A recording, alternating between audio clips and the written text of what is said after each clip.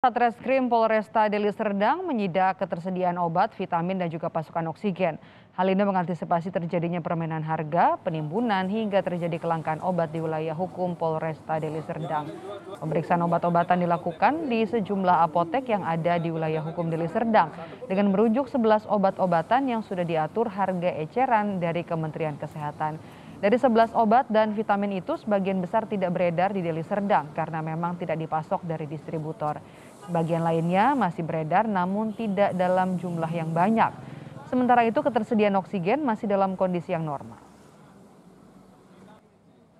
Bawaan kami dari Satreskrim Polresta Deli Serdang kepada masyarakat jangan uh, panik buying, uh, artinya jangan membeli uh, obat-obatan dan oksigen dalam jumlah yang banyak supaya uh, masyarakat yang membutuhkan itu gampang dan mudah mencarinya.